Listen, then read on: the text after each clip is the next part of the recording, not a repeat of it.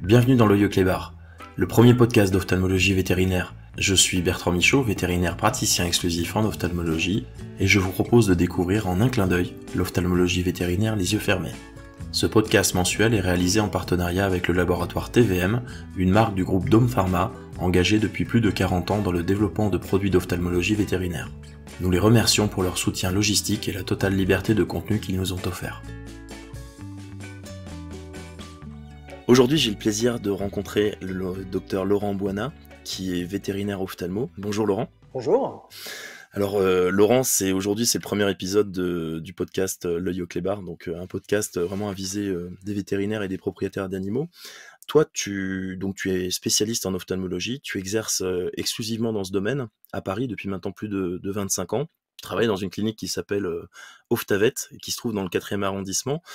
Tu as aussi des activités annexe, mais toujours en rapport avec le domaine vétérinaire, puisque tu es éditeur en fait d'ouvrages vétérinaires euh, avec euh, énormément de références et euh, donc vraiment c'est important c'était très intéressant de t'avoir aujourd'hui. Ma première question en fait aujourd'hui on va découvrir un peu ce métier d'ophtalmo pour les animaux et à quoi ça sert. pourquoi est-ce que toi tu as décidé finalement de faire de l'ophtalmologie? Alors, moi personnellement, donc après mes études de vétérinaire, j'ai commencé en tant que généraliste et euh, donc j'ai fait des remplacements. J'étais, j'avais une vingtaine d'années euh, après les études et, euh, et, en tant que généraliste, je trouvais ça bon, c'était intéressant. Hein, c'est, le, c'est, le métier de, vétérinaire tel qu'on le, le tel qu'on l'imagine. Et, euh, et puis j'ai voulu aller plus loin. Donc j'ai eu la chance de faire par euh, un peu relation, j'ai pu faire un CES d'ophtalmo très vite. Euh, et, à partir du CES, j'ai découvert euh, l'ophtalmologie et puis ça a été une passion. Donc euh, en fait, j'ai imaginé, parce qu'à l'époque, il y avait très peu de spécialistes qui faisaient que ça. Donc moi, je, me suis dit assez vite que je, je n'aimerais faire que ça, exclusivement. Ce qui fait que l'année de la fin du CES, j'ai quasiment arrêté, enfin j'ai continué quand même hein, le, le, métier de généraliste pendant un an ou deux, quand même pour gagner ma vie, mais en parallèle, j'ai continué à me former et à lancer euh, des consultations spécialisées en ophtalmo. Et, puis après, j'ai, au fil en aiguille, j'ai continué cette passion euh, jusqu'à maintenant et ça reste toujours une passion. Et c'est quoi le cursus finalement pour être vétérinaire ophtalmo? Parce qu'en humaine, y a, ils font des années d'études en plus, etc. Toi, tu as, pris une filière euh, plus, on va dire, pratique et, et après, tu as fait pas mal d'expérience, c'est ça? Bah, Disons qu'à l'époque, il n'y avait pas tellement de filière parce que c'était il y a 25 ans. Euh, c'est vrai que maintenant, c'est beaucoup plus euh, codifié avec des, des, diplômes de spécialistes qui existent.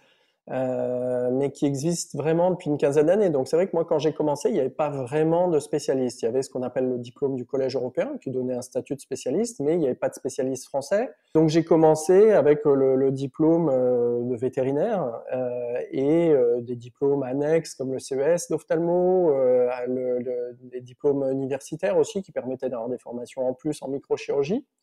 Et, euh, et, par la suite, étant donné que j'ai eu cette activité euh, exclusive pendant euh, une dizaine d'années au départ, après cette dizaine d'années, il y avait la possibilité d'obtenir une équivalence en obtenant le diplôme de spécialiste, ce que j'ai donc euh, passé. Voilà, mais c'est vrai qu'à l'heure actuelle, euh, les voies classiques, c'est des formations qui durent à peu près 3-4 ans, soit du collège européen avec un résidanat, et à la clé donc le diplôme du collège, soit le DESV, qui est un diplôme de spécialiste français, euh, en école vétérinaire et qui est aussi de 3-4 ans. Et vous êtes nombreux en France des ophtalmos? On est en tout euh, une vingtaine de spécialistes ophtalmos. D'accord. 25.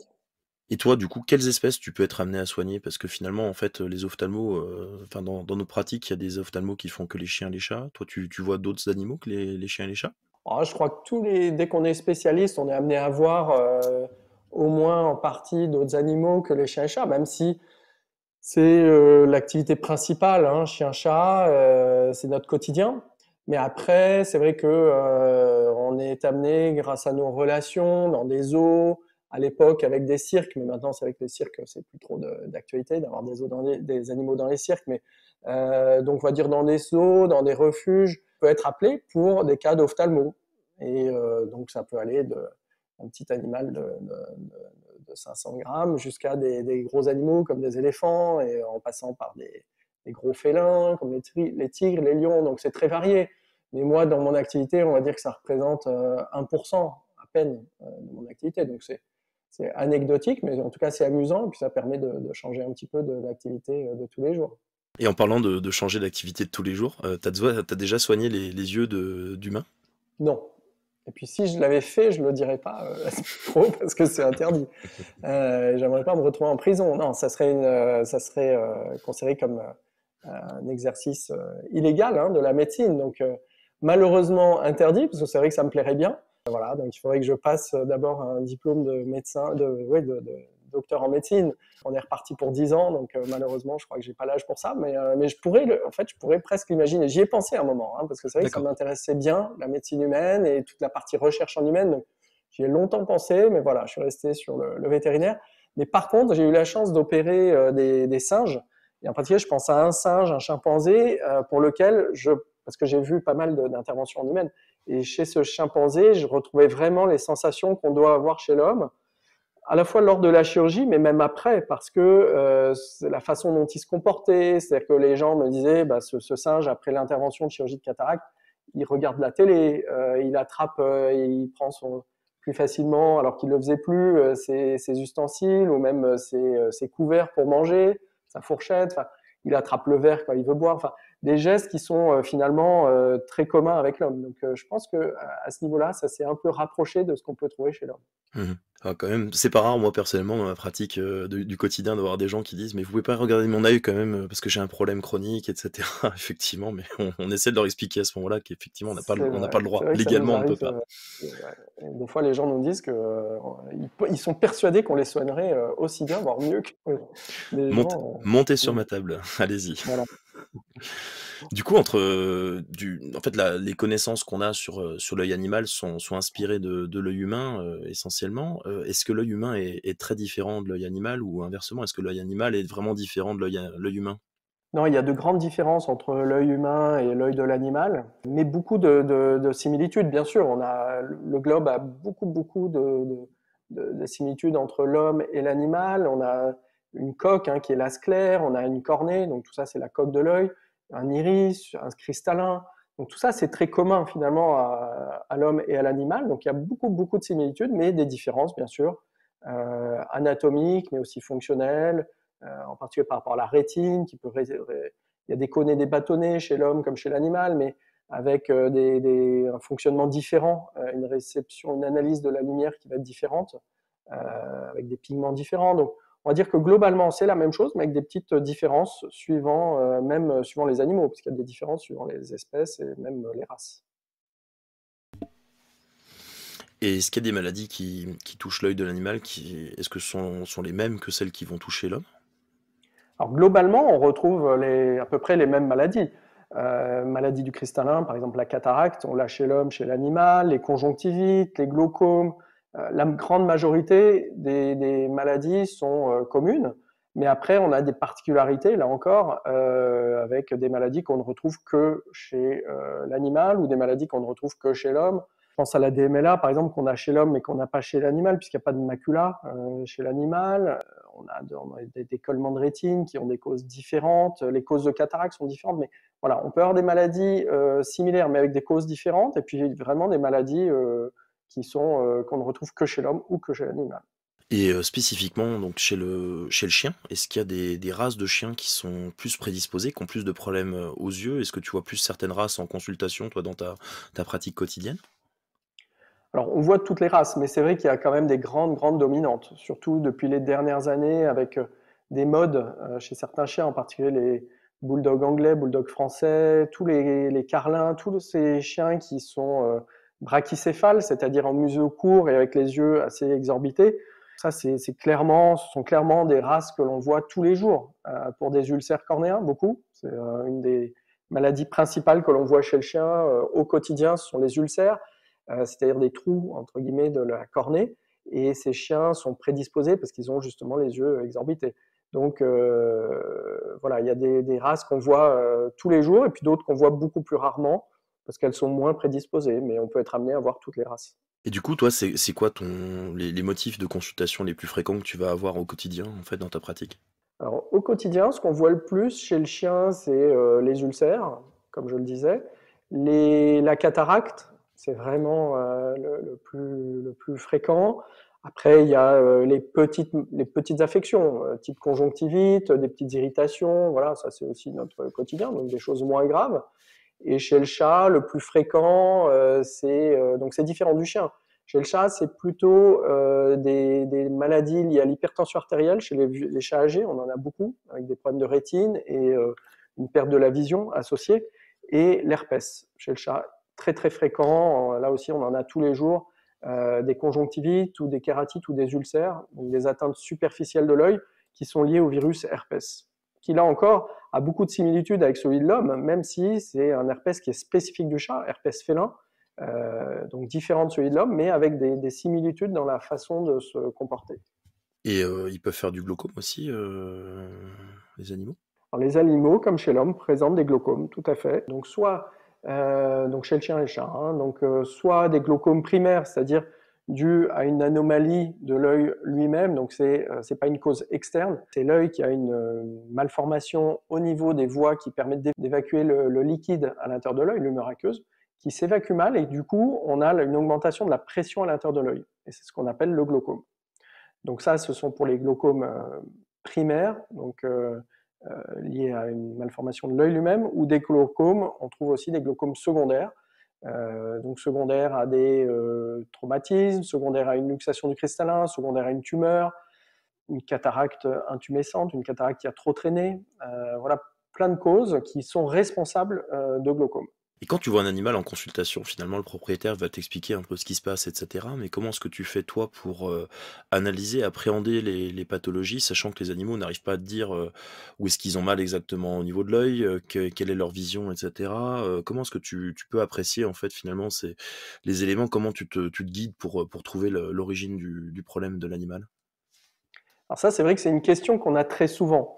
Euh, de la part des propriétaires parce que chaque fois ils nous disent mais ils ne parlent pas, contrairement à nous. Ceci dit, euh, les petits enfants ou les bébés ne parlent pas non plus et on arrive quand même à faire une médecine euh, ophtalmo chez l'homme, hein, enfin chez le, bébé, donc ça veut dire que c'est quand même possible. Et chez l'animal, c'est d'autant plus facile que les propriétaires sont quand même très attentifs et notent plein de choses qui se passent soit dans le comportement de l'animal, soit un changement d'aspect de l'œil. Donc c'est souvent en fait, voilà, soit un changement de comportement de l'animal qui va soit présenter une douleur, soit qui va être aveugle. Et donc, dans les deux cas, ça se voit. Une douleur chez l'animal, elle passe pas inaperçue, soit parce qu'il va cligner l'œil, soit parce qu'il va être euh, abattu par cette douleur, soit une perte de la vision. Et ça, souvent les propriétaires le voient aussi parce que l'animal va moins bien se déplacer dans son environnement, il va se cogner.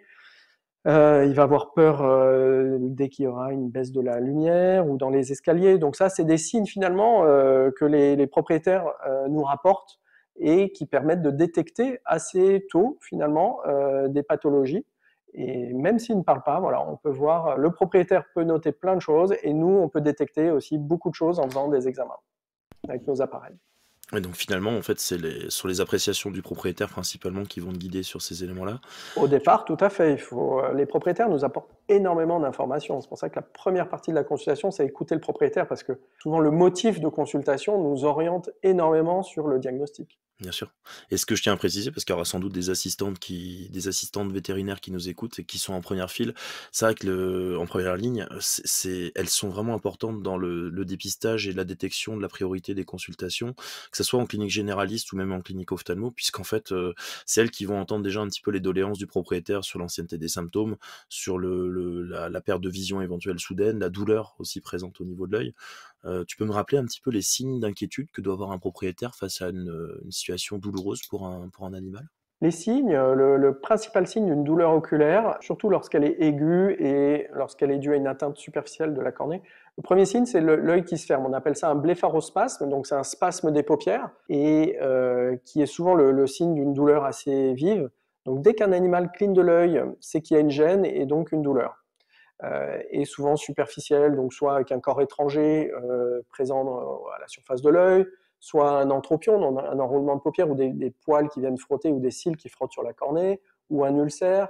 Voilà, tout ce qui est superficiel provoque ce type de, de signes euh, liés à une douleur. L'autre type de douleur, c'est des douleurs un peu plus profondes, liées au glaucome, par exemple, qui est dû donc à cette hypertension à l'intérieur de l'œil, qui crée une douleur assez forte. Hein. On parle de migraine hein, chez l'homme, de migraine ophtalmique, et donc chez l'animal, ça va plutôt se manifester par une baisse de l'état général, comme je le disais tout à l'heure, due à cette migraine plus qu'à une fermeture de l'œil. Voilà les deux grands signes de douleur. Une petite question, tu me parlais de matériel tout à l'heure. Au-delà des connaissances spécifiques, qu'est-ce que qu'est-ce qui fait qu'un ophtalmo est ophtalmo finalement, un, ophtalmo vétérinaire plutôt qu'un généraliste? Je, comprends bien la question. En effet, c'est vrai qu'il y a la formation, c'est la base, et il y a aussi le matériel qui va avec. Ce matériel est bien spécifique en ophtalmo, un peu comme chez l'homme. Hein. On a tout ce qui est euh, matériel diagnostique avec euh, des lampes à fente, donc comme chez l'homme. Donc c'est un biomicroscope, donc c'est un matériel qui nous permet de grossir euh, l'image de l'œil, de bien voir ce qui se passe au niveau de l'œil et de l'éclairer. Ça a donc deux fonctions, cet appareil, lampe à fente ou biomicroscope. On utilise aussi des, des tonomètres électroniques maintenant qui nous permettent de mesurer de façon précise la pression à l'intérieur de l'œil, et puis des appareils qui nous permettent d'évaluer euh, le fond d'œil, donc euh, d'avoir une image de la rétine. Donc, ce sont les ophtalmoscopes. Ensuite, voilà, en gros, après on s'aide beaucoup de, dans, des, techniques complémentaires euh, d'échographes. Donc on a des échographes maintenant haute fréquence qui nous permettent d'avoir des, images très précises de l'intérieur de l'œil. Donc ça, c'est vraiment très très utile en ophtalmologie on l'utilise tous les jours. Euh, et puis, on a maintenant euh, l'OCT qui est en développement, euh, qui nous permet d'avoir, c'est une technique d'imagerie comme chez l'homme, qui nous permet d'avoir des images précises de la cornée, encore plus précises, de la cornée et de la rétine. Ça, c'est pour tout ce qui est diagnostic. Et après, on a au niveau chirurgical le microscope qui a révolutionné notre activité il y a quelques 40 ou 50 ans, puisque ça nous a permis de voir dans le détail euh, les, actes que l'on réalisait en microchirurgie. Donc, euh, le microscope, les appareils, tous les instruments de microchirurgie qui nous permettent de manipuler les tissus de l'œil, qui sont très fins. et puis des lasers qui ont énormément, là encore, révolutionné notre activité. Donc des lasers qui nous permettent de traiter le glaucome, qui permettent d'éviter des décollements de rétine, qui permettent de pulvériser des kystes à l'intérieur de l'œil ou de détruire des, tumeurs. Et la grosse révolution euh, des, 40 dernières années, c'est la phacoémulsification pour la chirurgie du cristallin, chirurgie de la cataracte, comme chez l'homme. Euh, donc un appareil qui nous permet d'aspirer, de fragmenter et d'aspirer le cristallin, et ensuite de remplacer par un cristallin artificiel. Et ça, ça a été, voilà, c'est un matériel qui est maintenant euh, généralisé hein, chez tous les ophtalmos et euh, qui nous permet d'avoir les meilleurs résultats euh, possibles euh, dans la chirurgie de la cataracte. Et ça continue à évoluer, hein, les, machines évoluent hein, tous les ans avec des progrès, en particulier au niveau de la chirurgie de la cataracte. Tu nous parles de la cataracte là justement. Est-ce que tous les animaux peuvent présenter la cataracte? Et est-ce que, est que pour toi il faut toutes les opérer? Quasiment toutes les espèces présentent des cataractes, à ma connaissance. Euh, il y a peut-être des, exceptions, mais en tout cas, il y a tellement d'espèces sur Terre que voilà, euh, je ne me lancerai pas à dire toutes, 100%, hein, mais en tout cas, euh, on va dire que toutes les espèces sauvages qu'on est amené à voir, et nous, les espèces domestiques, donc chiens, chats, les, animaux type bovin, ovin, les oiseaux, les reptiles, voilà, tout ce type d'espèces peuvent euh, développer des cataractes. Hein, et j'ai été amené à opérer toutes ces espèces. Euh, et ensuite, ta question était, excuse-moi, la deuxième partie. Oui, donc c'est de savoir, est-ce que toutes les cataractes sont bonnes à être opérées? Ah, voilà. On va dire que euh, tout dépend de, l'état de l'œil, plus que de l'espèce en elle-même. Parce que qui pourrait jouer finalement sur une contre-indication, ça pourrait être la taille de l'œil. C'est-à-dire que sur des animaux extrêmement petits, je parlais d'animaux de 500 grammes, comme des, des petits euh, cochons d'Inde par exemple, ou des chinchillas. Certains oiseaux, l'œil est extrêmement petit, ou le furet par exemple. J'ai opéré pas mal de furets, et c'est vrai que la limite, on va dire que c'est la taille de l'œil. Même si finalement, avec nos, instruments assez modernes, hein, comme je le disais, avec des toutes petites sondes, on arrive à aspirer le cristallin. Donc ça, c'est par rapport aux différentes espèces. Après, ce qui peut contre-indiquer une chirurgie de la cataracte, c'est plus les lésions qui sont associées. Si par exemple vous avez un décollement de rétine, un glaucome associé, une, pathologie grave de la cornée. Euh, vous allez euh, éviter la chirurgie, ou alors ça peut être aussi le statut de l'animal par rapport à l'anesthésie. Un chien qui est trop âgé, avec un souffle cardiaque et qui n'est pas en état de subir une anesthésie générale, on évitera d'opérer cet animal. Là, tu me parlais, on parlait un peu d'animaux euh, exotiques. Et c'est pour, pour, toi, c'est quel animal t'a vraiment marqué? Quelle, quelle, opération de cataracte t'as as pu réaliser dans ta carrière, dans les 25 dernières années, qui t'a vraiment marqué? Les plus marquantes, bah, j'ai parlé déjà du chimpanzé, bon, pour les raisons évoquées tout à l'heure. Après, j'ai eu deux éléphants. Ça, c'est marquant par rapport à la taille et puis par rapport aux conditions, parce qu'il fallait que j'opère. ça faisait partie des rares animaux que j'ai pas pu faire rentrer dans ma clinique. Donc ça, c'était directement euh, sur place, euh, dans un zoo euh, pour l'un, dans un cirque pour l'autre. Donc ça, c'est forcément marquant et toute une organisation par rapport à l'anesthésie et un travail d'équipe. Déjà, c'est le cas dans le type de clinique dans lequel on est pour les chiens et chats. On a une équipe avec des assistantes qui préparent l'animal. Donc c'est un travail d'équipe, mais encore plus quand c'est un éléphant parce que il y a un anesthésiste spécialiste des, des, très très grands animaux. On a un vétérinaire qui est plus euh, spécialisé faune sauvage. Donc voilà, il y a une, euh, on était une équipe d'une dizaine de personnes. Euh, récemment, j'ai eu un rhinocéros, donc ça c'était assez marquant aussi dans la gestion de l'anesthésie. Donc ça c'était aux eaux de Vincennes, c'était il y a six mois à peu près. Puis après il y a les félins, c'est vrai que c'est assez, assez marquant, type lion, tigre, voilà, parce que c'est des espèces assez fascinantes et puis qui nous renvoient à nos, à nos souvenirs d'enfance, donc ça nous fait toujours quelque chose. C'est sûr. Il y a des patients qu'on n'espère pas trop qui vont se réveiller pendant que tu es en train de les opérer. C'est vrai. Et euh, par rapport à l'appréciation, justement, à l'évaluation des, animaux, en, humaine, on te fait lire des lettres, des chiffres, des choses comme ça, différentes tailles, en testant un œil puis l'autre. Comment est-ce que tu fais, toi, pour évaluer la vision des animaux? Alors, pour évaluer la vision des animaux, il n'y a pas un seul test il y a finalement, c'est une, conjonction, une analyse de plusieurs tests et aussi de ce que rapporte le propriétaire. Donc, euh, la première chose, c'est qu'est-ce que nous dit le propriétaire? Est-ce que pour lui, déjà, l'animal voit mieux après une intervention, par exemple? Est-ce qu'il s'il se cogne avant la chirurgie et qu'il se cogne plus après, c'est qu'a priori, euh, la chirurgie a plutôt bien marché et que le chien a retrouvé la vision. Donc, c'est déjà un premier élément. Ensuite, il y a nous, ce que l'on peut voir avec nos instruments. Donc, la transparence des milieux, déjà les réflexes. Hein, euh, en premier lieu, les réflexes, c'est la première chose qu'on teste. Donc, euh, un réflexe tout simple qui est le, test de clignement à la menace, c'est-à-dire qu'on approche la main face à l'œil et on voit comment l'animal euh, réagit. C'est vraiment un des, tests les plus fréquents et qui nous donne le, plus d'indications. et si donc l'animal ferme l'œil, c'est qu'a priori, il a une, bonne vision. Il faut faire attention de ne pas remuer l'air pour pas avoir un faux positif, mais en tout cas, c'est euh, voilà, quand c'est bien fait, ça nous permet d'avoir une bonne euh, analyse des choses. Euh, ensuite, on a ce qu'on appelle des parcours d'obstacles. Donc, on place l'animal dans un milieu inconnu, en particulier la, salle de consultation, parce que le propriétaire nous dit qu'il voit mieux, mais c'est vrai que chez lui, il prend des repères. Donc, moi, j'aime bien les mettre dans ma salle de consultation, voir comment ils bougent par rapport aux chaises et créer un parcours d'obstacles, c'est placer des chaises au milieu. Je mets le propriétaire de l'autre côté de la salle et je, lui demande d'appeler son animal et je vois comment l'animal se comporte. Et ça, c'est un très bon, très bon test aussi pour juger euh, de la vision de l'animal. S'il se cogne, c'est qu'il voit pas, et s'il évite les, chaises, c'est qu'il euh, voit correctement, suffisamment. Après, euh, on a les, tests d'évaluation du fond d'œil, de l'attention, etc. Ça, c'est des examens annexes qui nous permettent aussi de voir si, d'un point de vue anatomique et fonctionnel, l'animal, l'œil est apte à avoir une vision normale. Et pour les propriétaires qui nous écoutent, quels sont les premiers signes en fait de, baisse de vision ou même de, cécité qu'ils peuvent apprécier sur leur animal? Les premiers signes, c'est un changement dans le comportement. Parce que c'est vrai que le fait de se cogner, ça vient plutôt tardivement, c'est plutôt euh, au moment où l'animal ne voit plus du tout.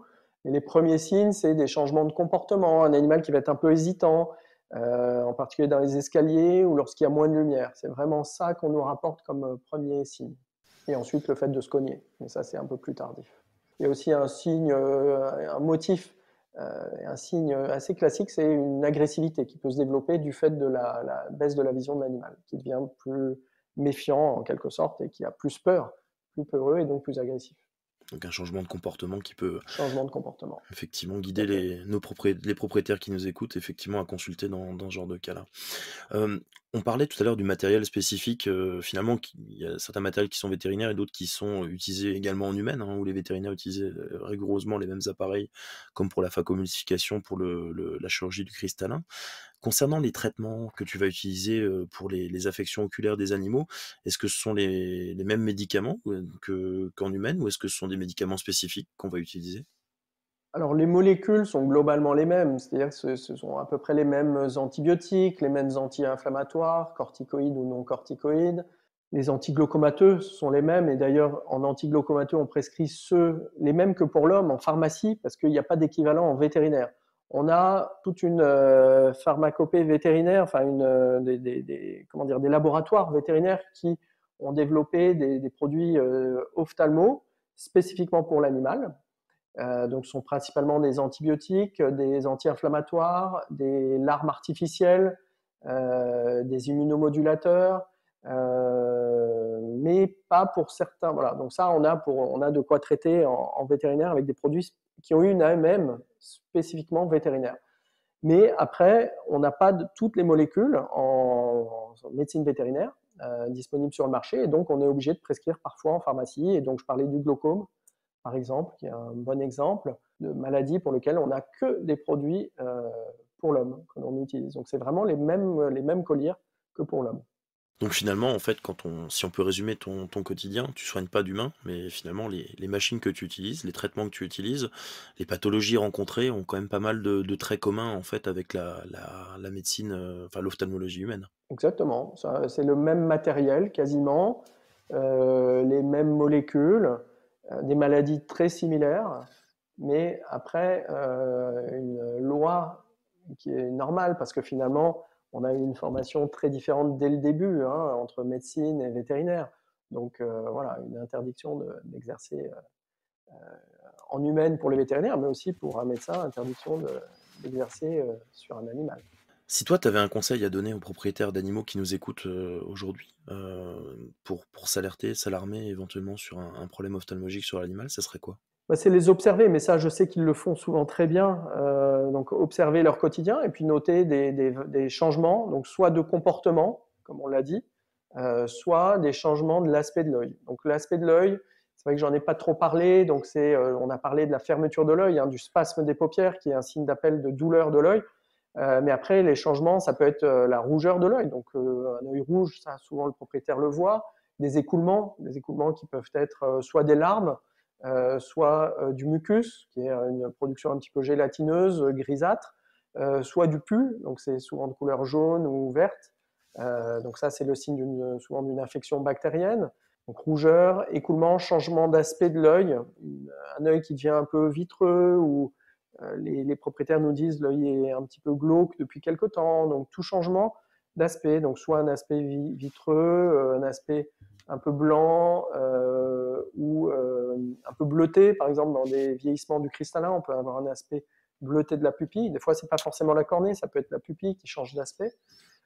Un œil qui, euh, qui est gonflé aussi doit être le signe, un signe d'appel. Et puis en comportement, comme on l'a dit, agressivité, difficulté dans les escaliers ou un animal qui se cogne, comme on l'a vu tout à l'heure. Ça marche. Bon, c'était très complet. Et euh, moi, j'ai une dernière question, un peu plus personnelle. Euh, est-ce qu'au bout de 25 ans en fait, d'ophtalmologie vétérinaire, tu aurais une anecdote à nous, nous raconter sur, euh, sur quelque chose qui t'aurait marqué, sur une histoire qui t'a marqué? Il y en a tellement. Bah, c'est vrai qu'en 25 ans, j'ai eu la chance de vivre pas mal de choses. c'est vrai que les animaux sauvages, c'est toujours marquant. Pourquoi? Parce que finalement, on est un peu sur du nouveau à chaque fois. C'est vrai que le chien-chat, on est rodé. on n'est jamais en pilote automatique. Hein, euh, c'est toujours un challenge. Par exemple, une chirurgie de cataracte, il y a toujours. Euh, je, dis tout le temps que chaque, chaque cas est différent parce qu'on ne sait jamais sur quoi on va tomber, donc il faut toujours beaucoup de vigilance. Mais euh, c'est vrai qu'il y y a quand même une, routine, mais dans le bon sens, c'est-à-dire que des habitudes hein, que l'on a. après, voilà, les, les, surprises, ça a toujours été sur les animaux sauvages parce que c'est plus rare, donc du coup, on est moins habitué et on, pense qu'il faut encore plus de vigilance, plus de concentration. Et, euh, et, du coup, on peut être plus surpris par ce qui se passe. Donc, c'est vrai que euh, là, ce qui me vient en tête, c'est euh, des réveils. Voilà, je, me souviens d'un, par exemple, d'un varan. J'avais eu des télés qui étaient venus, même TF1 qui était venu pour une cataracte chez un varan. Donc, c'est un gros, gros lézard, hein, vraiment très, très gros. Hein, il devait faire peut-être 30 ou 40 kilos, très musclé qui se débattait énormément quand il a fallu l'anesthésier. On a réussi à l'anesthésier, donc j'avais fait venir un, bon ami spécialiste de la faune sauvage, Noreen Shea, qui un bon ami, et qui a, qui a géré l'anesthésie parfaitement. Et au moment de, la chirurgie, parce que euh, toujours difficile hein, de doser pour pas que ça soit euh, trop profond, que l'anesthésie soit pas trop profonde et pas trop légère. Et à un moment, c'est vrai qu'au moment de, la suture cornéenne qui peut un peu stimuler l'œil de l'animal et donc créer une, certaine douleur. l'animal s'est réveillé et a bougé sur la table et, donc voilà, on a eu très peur et c'est ce qui a vraiment intéressé d'ailleurs les télés. Ils ont vraiment gardé, ils ont focalisé sur ce moment-là. Euh, voilà, mais heureusement, on a réussi à l'endormir et à finir la chirurgie. Oui, donc il y a toujours des imprévus, en fait, même en pratique de, de tous les des imprévus, ouais. Laurent Bonnat, te remercie énormément pour ta participation à, ce premier, euh, premier épisode du podcast L'œil au clébar. Je rappelle aux auditeurs qui peuvent te retrouver donc euh, à la clinique euh, donc Oftavet qui se trouve à Paris. Vous êtes donc deux ophtalmos à, travailler dans cette clinique. Donc c'est dans, dans, le quatrième arrondissement à Paris, mais je sais qu'il y a des gens qui viennent de loin, qui viennent même d'Angleterre faire opérer leur animal chez toi. Donc voilà, donc merci à toi. Eh ben, je voulais te remercier Bertrand et, et, te dire que je suis particulièrement honoré d'être interviewé par toi parce que euh, bah, tu es ophtalmo, tu fais un travail que je respecte énormément, à la fois euh, ce que je peux voir, parce que avec tes publications et puis tout ce que tu fais, tu fais énormément euh, à l'heure actuelle en ophtalmo pour faire connaître ta spécialité et pour partager tes connaissances. Et voilà, je suis très sensible à ça et donc ça me touche particulièrement que ce soit toi qui m'interviewe. Donc un grand merci. Plaisir partagé. À très bientôt, Laurent. À bientôt. Salut Bertrand. Aujourd'hui, on a vu avec Laurent Boana qu'il existait des vétérinaires ophtalmologues en France. Ils ont suivi une formation spécifique pour approfondir leurs connaissances dans le domaine et ils ne reçoivent que des patients qui présentent des troubles oculaires. Ils réalisent des examens et des interventions de pointe nécessitant un matériel très spécialisé comme chez les ophtalmo humains. L'œil animal est à la fois proche anatomiquement de l'œil humain mais présente de grandes différences en termes de cicatrisation et d'inflammation. Les affections qui touchent les yeux de nos animaux sont similaires à celles qui touchent l'homme, mais leurs fréquences ne sont pas les mêmes. En effet, chez l'animal, on rencontre beaucoup de contusions et des ulcères cornéens causés par des traumatismes, mais également des cataractes qui s'opèrent comme chez l'homme. Le vétérinaire ophtalmo peut soigner diverses espèces, parfois originales et très imposantes. Finalement, l'œil animal n'est pas très éloigné de votre œil à vous, et les critères d'alerte sont assez simples. Si votre animal présente une douleur à l'œil, une rougeur, un changement d'aspect de l'œil ou une perte de vision, pas d'hésitation, il faut consulter. Votre vétérinaire généraliste saura vous guider sur les premiers signes et vous orienter vers un ophtalmo s'il y a besoin de réaliser des explorations complémentaires ou une intervention. On se retrouve dans un mois avec le docteur Jennifer Anne qui nous expliquera pourquoi certains ulcères de cornée ne cicatrisent pas et Dieu sait qu'un ulcère ça peut faire mal.